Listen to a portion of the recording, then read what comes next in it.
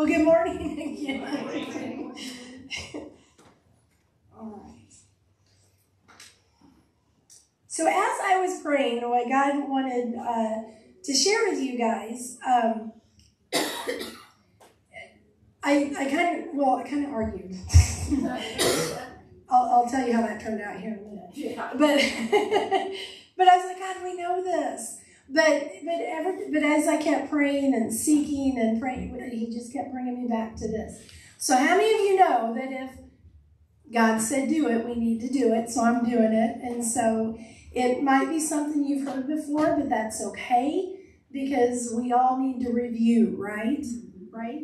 You know, in school, uh, they uh, kids like my daughter just just took finals here uh, a few months ago, and and you know they learn for a whole semester. They learn all this stuff, and then they have a final. So and then before they take the final test, then they review, right? So that's what we're doing. We're reviewing. It's okay. It's good, and you know, and, and like Pastor Taney said, have a teachable spirit, and I'm just obeying the Lord and just just doing what He asked me to do. So that's what we're doing.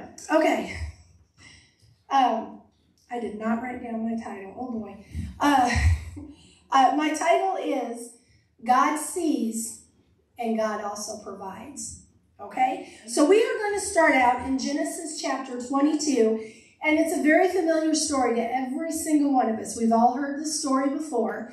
And um, and I'm gonna sh- as we go through this, I'm gonna share some things that God kind of opened up to me in my my individual study time. So we're gonna talk about when um, Abraham, uh, when God told Abraham to take Isaac, his his promised son, his gift from God, um, and and a son that he loved very very much. How many of you love your children very very much? And they try to sometimes, but you love them. but but uh, God told him to take him up and, and to sacrifice him. Now, which meant he was going to have to put him to death. And how many of you, as parents, you know, if God would have told you that, be like, Am I, you know, you sure about that, God? So we're going to start there. So let's start Genesis, excuse me, Genesis chapter 22, and we're going to start in verse 1. So Genesis chapter 22, verse 1. Genesis chapter 22. And it came to pass after these things that God tempted Abraham. And he said unto him, Abraham. And he said, Behold, here I am. And said, Take now thy son, thy only son Isaac, whom thou lovest, and get thee into the land of Moriah, and offer him there for a, for a burnt offering upon one of the mountains which I will tell thee. So he told him, you know, get Isaac. You're going to go to Mount Moriah, and I'll tell you where to go on there, and you're going to sacrifice him.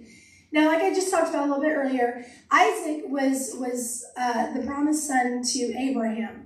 Now, going back a little bit, um, I'm kind of getting ahead of myself, but in in uh, in Genesis chapter 17, God told Abraham that he was going to be the father of many nations, and He told him that that you're you're going to have a son. He told Sarah, "You're going to have a son."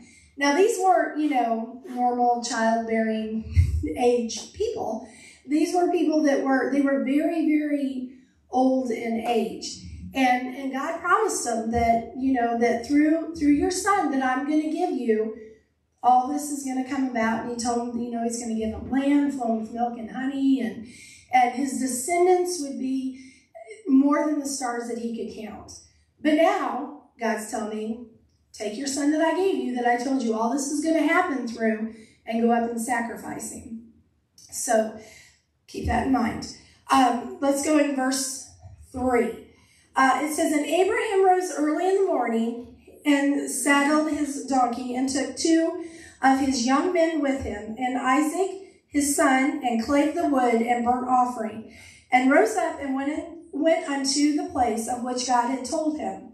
In verse 4. Then on the third day, Abraham lifted up his eyes and saw the place afar off. And Abraham said unto his young men, now these are the men that that helped them, you know, he him and Isaac went up, and they had, you know, they took the burnt wood and they had supplies and stuff. And so all he these men went with them. So here's what he tells these men.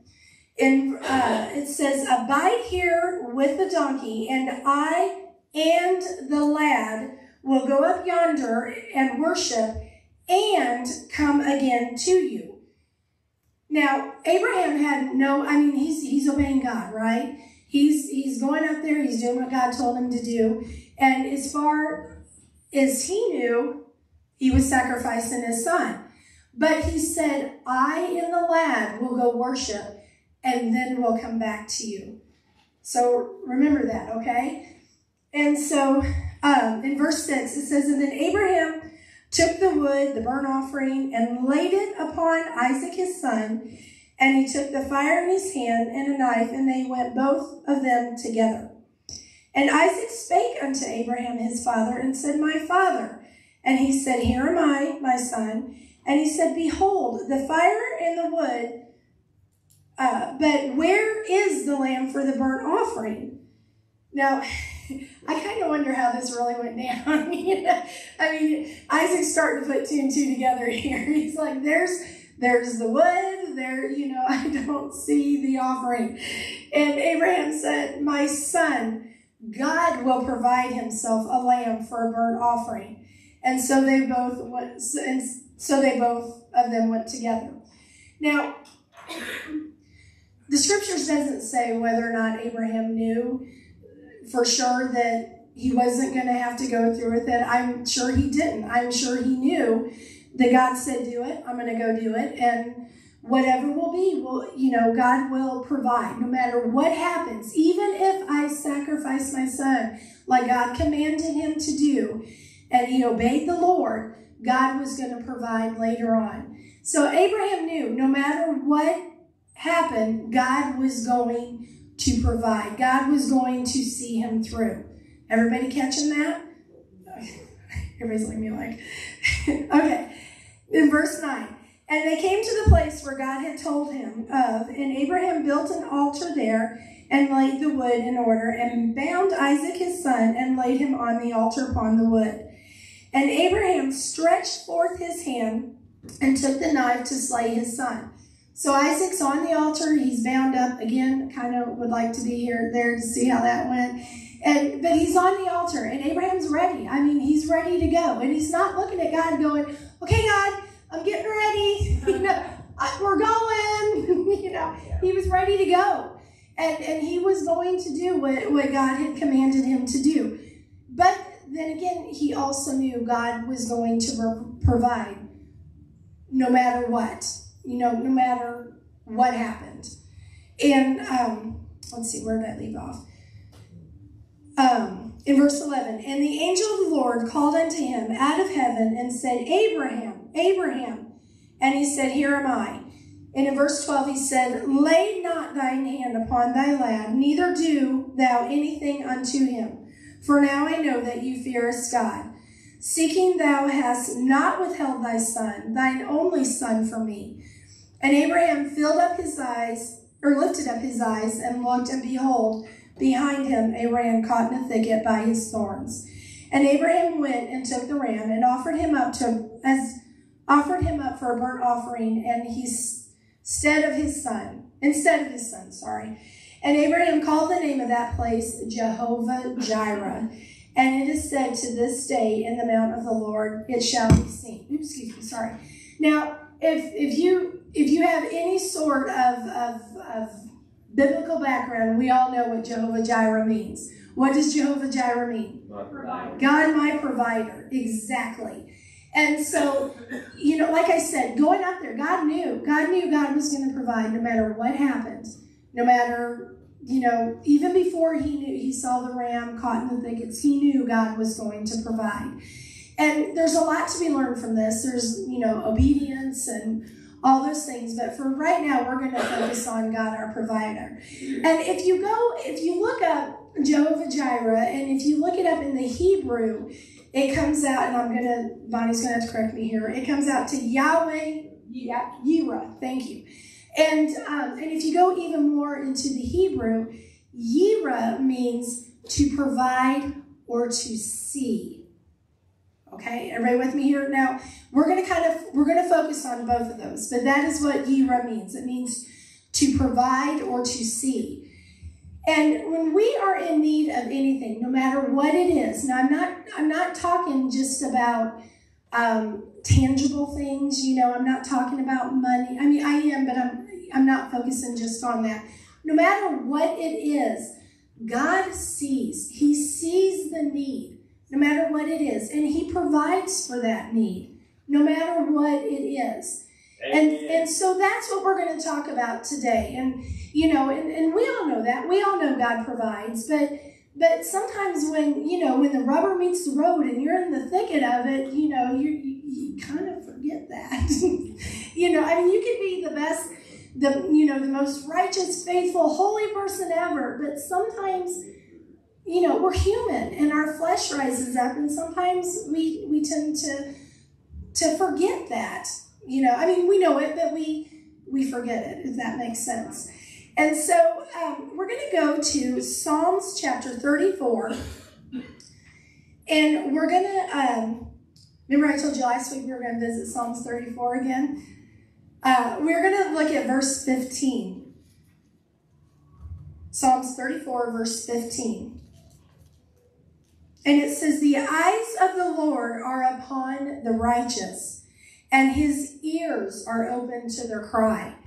So right there, the word's telling us that, that God, God's eyes are upon us, no matter what we're going through.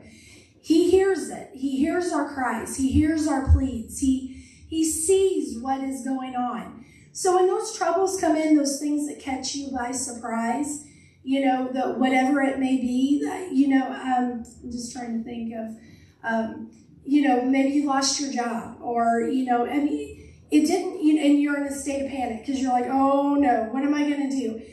God's already seen that. Nothing catches God by surprise. Yeah, right. Nothing. And, you know, and He's already 15 steps ahead of you, you know, because He sees it. He hears your cry, you know, and He, He provide.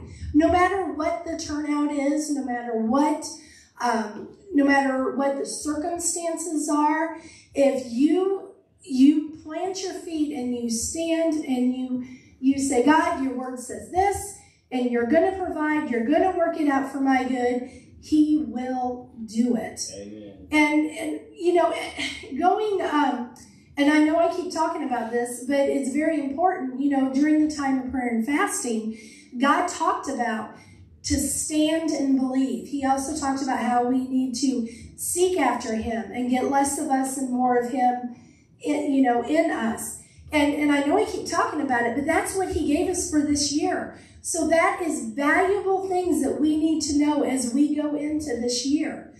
And, and I really feel like, I mean, God's telling us, I will provide no matter what happens, no matter what the situation is. I will provide. Hallelujah. And so going down to, to Psalm 7, we're going to go down to verse 17. It says, The righteous cry, and the Lord heareth, and he delivered them out of all their troubles. Now, see where I'm going here? I'm not talking about just money, but just, you know, whether it be family troubles, whether it be job troubles, whether it be you need healing, whatever. God delivers us out of that as long as we stand firm in His Word and we trust Him and we have faith and we just keep going and we stand and believe God will deliver. Amen. And so um, let's go, uh, we're going to go back uh, a chapter in Psalms and we're going to go to chapter 33 and we're going to start in verse 18. And we're going to read verses 18 through 22. Psalms 33, 18 through 22. And it's uh, starting in 18. It says, Behold, the eye of the Lord is upon them that fear him, upon them that hope in his mercy, to deliver their soul from death and to keep them alive in famine. Our soul waiteth for the Lord, and he is our help and our shield. For our heart shall rejoice in him, because we have trusted in his holy name. Let thy cry mercy, O Lord, and be upon us according as we hope in thee. Now, how many of you know what it is to fear the Lord?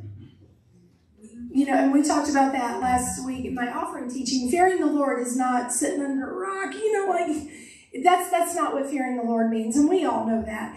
But fearing the Lord is is um, is fear of of well. Let me let me go. Let me. Fear is a deep and complete reverence of Him.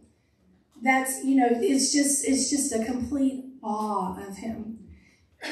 And how many of you you know you you stand in awe of the Lord? We stand in awe during praise and worship, and we stand in awe as we we you know we listen to his rhema word and we stand in awe as, as he does things in our lives and and moves and just does crazy miraculous things we stand in awe of him and um you know and and also fear the lord is you know fear of losing that inti- intimacy with him and now, if if for some, you know, if that happens, it's not that God went anywhere. God doesn't go anywhere. It's us that that causes the loss of that. You know, so that's what fear of the Lord means.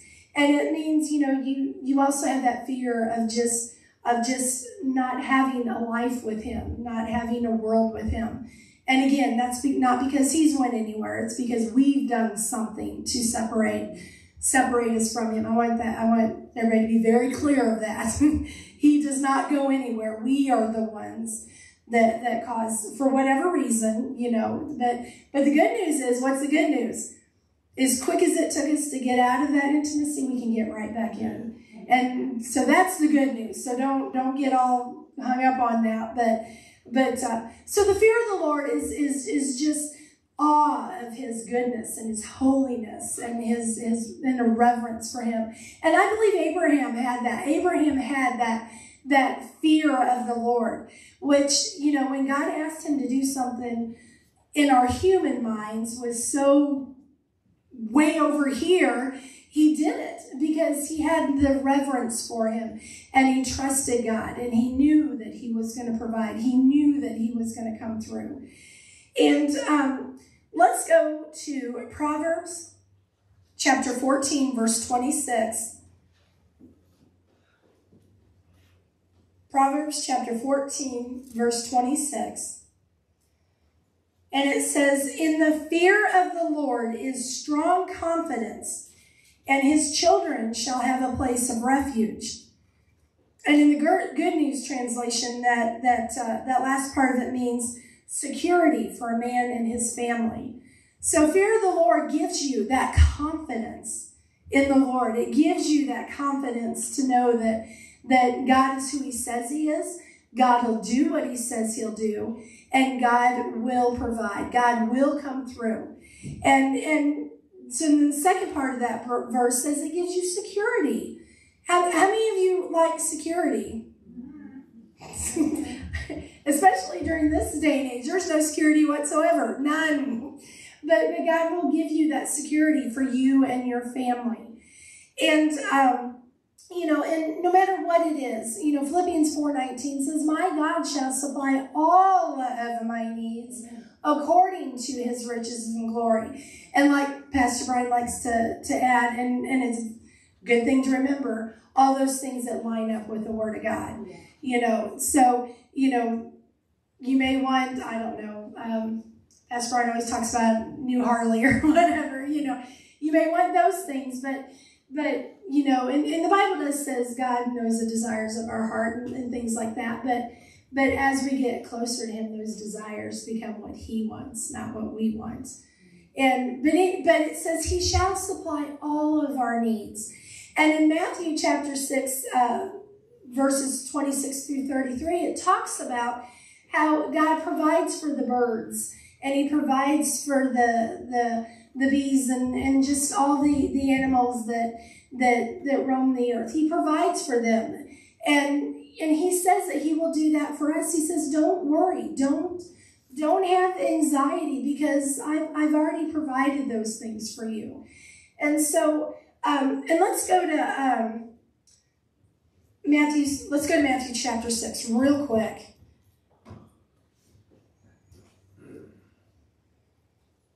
I don't have this one right down, so I gotta look it up. In Matthew chapter 6, and we're gonna go in verse 33. So You know what? Let's just read. Let's go back up to 26. We're going to read all of that.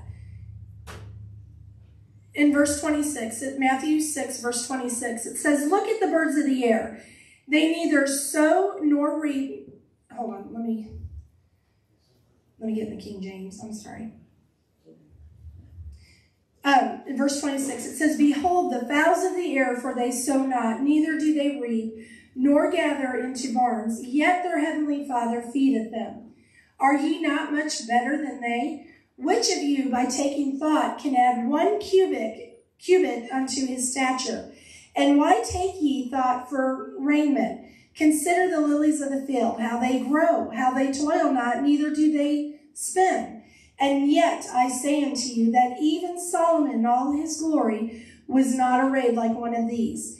In verse 30 it says, Wherefore, if God so clothe the grass of the field, which today is and tomorrow is cast into the oven, shall he not much more clothe you, O ye of little faith? So right there, he's telling you, right there, don't worry about it. Don't worry about your clothes. Don't worry about your food. Don't worry about all that. He's he's that's already provided. Okay, everybody catch that? He's he's telling you, don't even worry about that. And in verse uh, 31, it says, Therefore take no thought, saying, What shall we eat, or what shall we drink, or wherewithal shall we be clothed? For after all these things do the Gentiles seek. For your heavenly Father knoweth that ye have need of all these things. So he already knows that. Well, he knows everything. But he's saying, you know, I know these are things you need to survive. It says, but, but here's where I'm getting at. Seek ye first the kingdom of God and his righteousness, and all these things shall be added for you unto you. So as you seek the kingdom of God, it, it says all these things shall be added unto you, and then some. You know, no matter no matter what you are in need of, no matter what it is, seek ye first the kingdom of God, and then these things will be added unto you. And, you know, and just to review, you know, back in Psalms, it says God sees. He sees. Jehovah Jireh provides and he sees. He knows what's going, what, what you are in need of. All you got to do is reach out and grab it. And then as you grab it, you need to stand and you need to stand in faith. Sometimes it comes immediately, sometimes it comes over a progression, and then sometimes, you know, healing especially, sometimes it comes in heaven. Does that make God, his scriptures, a liar? Absolutely not. Because is this our temp- or is this our home? Do we stay here? Is this where we are bound to stay? No, no, we're passing through. you know, so so, uh, you know, it's First Peter 2 24 says, By your stripes you are healed. And whether here or heaven, you are healed. So, so I just want to, to really, really encourage you. And um, no matter what it is, God will see you through. And our, our last scripture, let's go to um, 2 Timothy, and we're going to go to chapter 3. 2 Timothy chapter 3. We're going to start in verse 10. Now, this is Paul talking, and, and in, in this, this scripture right here, he's talking about severe persecution. And, and he's talking about the things that, that he has he has went through. And and how I mean, you know, Paul did suffer severe persecution. And and he, that's what he's talking about here. But but starting in verse 10, it says, But thou hast fully known my doctrine, manner of life, purpose, faith, long suffering, charity, patience. Persecutions, afflictions, which came upon me at Antioch and Iconium and Lystra, and what persecutions I endured. But out of them all the Lord delivered me. How cool is that? Out of all of that, all them persecutions, all them things, the Lord delivered him. Now, the Bible says God's not a respecter of persons. So if he delivered Paul out of all those persecutions, what won't he deliver you out of? Right. If he delivered David out of, the, not David, I'm sorry, Daniel out of the lion's den, out of the mouths of the lions, what won't he deliver you out of? What won't he provide for you? Uh, Shadrach, Meshach, and Abednego in the fire. He was with them it said they saw four people in the fire, not three. They threw three in, but they saw four. And he delivered them out, and their clothes didn't smell. They didn't even smell of ash. They weren't burnt. If he delivered them, them out of that, what won't he deliver you out of? What won't he provide for you that you need?